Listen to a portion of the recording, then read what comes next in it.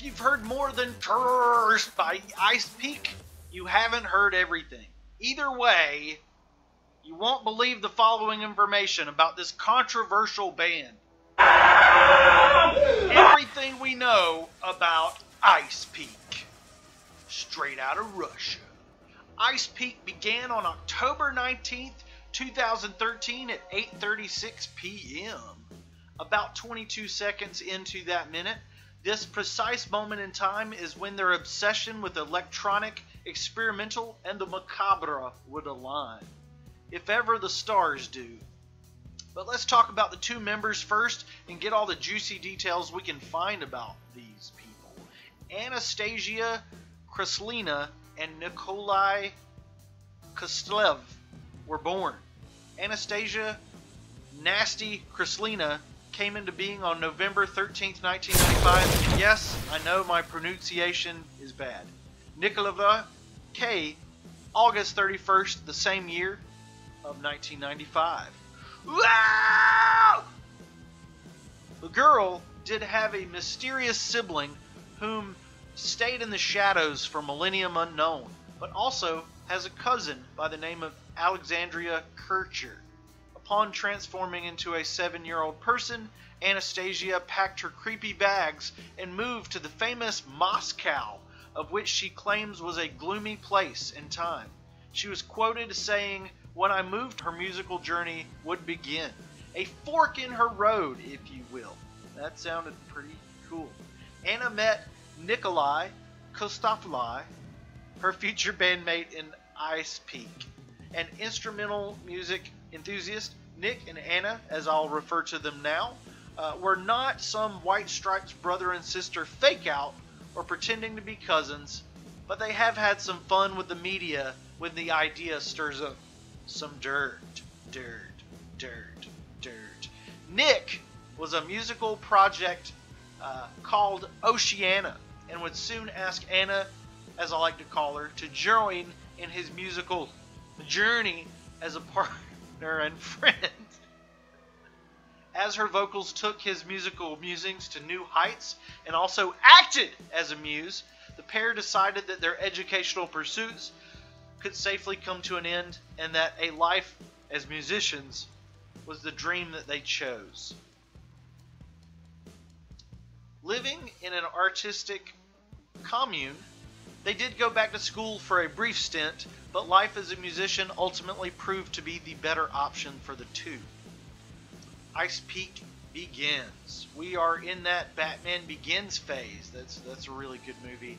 With Nick creating the instrumentals and Anna singing and writing lyrics, Ice Peak was born. Nick's father was a conductor for an orchestra, giving him an interesting musical background. Ice Peak's sound is a smorgasbord of genres, from folk, house, in the lowercase h, by the way, synth pop, metal, rock, alternative, trap, witch house, and electronic. Ice Peak would make music with potential to reach a variety of music fans while at the same time sending some sensitive folks running and screaming from their villages and cities.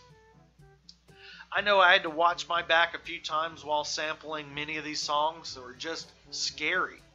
But before they honed that sound, they experimented with guitar riffs, uh, something called torn rhythms, and heavily processed vocal elements. After these experiments were well received by online communities, the duo knew they were headed in an artistically satisfying direction, the right direction. Name come from? Having a difficult time coming up with a name as the original, um, as is original as the sound, the duo decided on a point and shoot situation where the first thing they saw would become the band name. Ice Peak is a Finnish brand name, and the brand name on a laptop case that would indeed be the first thing they laid their eyes on. Huh?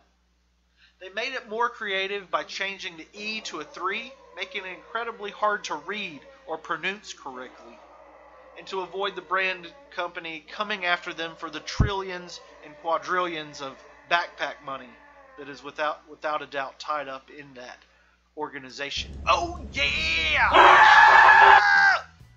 Performing in 2013, the band's first performance didn't go over so hot or cold. Katy Perry.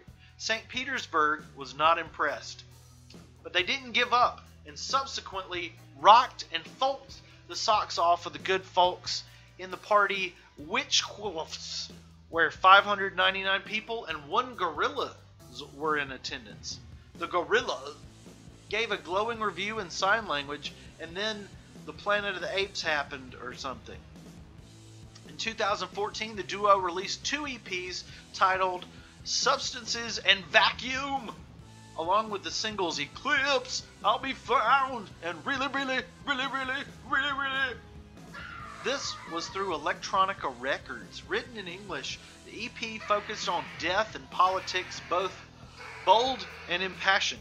They would describe their new career as audio-visual. Oh my, tourism, tourism, audio-visual tourism. We'll call it that, because the duo created the visuals intertwined with the the, the music. Their music video for Ether would prove their merit on all these difficult aspects of the band. Ice Peak quickly garnered attention from across the entire human planet called Earth.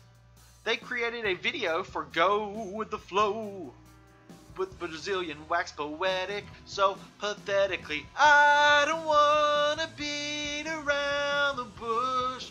Foxtrot, unicorn, Charlie, Kilo. I mean, while in Brazil, their 2017 album Sweet Life was their first Russian language output, and the ditty Sad Witch would become an earthwide bop with over 57 million plays on something called YouTube. What the Russian heck is YouTube? That is strange. As the language from this art project changed, so did the composition of said songs, sad songs. Their Russian language streak would bolster their popularity to new heights with whatever this word is, Smirty Bloshnet. Seeing skyrocketing success, do you guys like waterfalls? Controversy. There is no death no longer. The, the Smirty Bloshnet song, along with the overall undertones of the music, caused some Russian satanic panic. There were multiple protests of the music video claiming that it showed authorities in a negative light. Another factor was a supposed affront to mental health. Some thoughts uh, were directed at the duo so that fans could be harmed by hearing this music. The Ice Peak music, man. Russian government forces began shutting Ice Peak concerts down, going as far as to threatening venues if they hosted this music, self fulfilling the anti police talk of Ice Peak's music, supposedly. On December 1st, of the year 2018 on Earth, the band and their associates were actually arrested at a train station. There was public outrage and an uproar of support for the Ice Peak duo. Powers that be again playing the role that they had been written into in the artistic expressions of these two souls and their cohorts.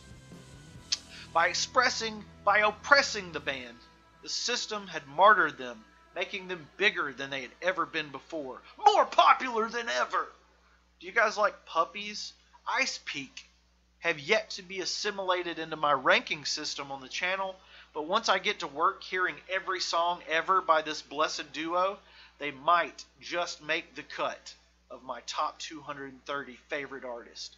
I highly suggest all of you listen to them and see what you think about the Ice Peak duo.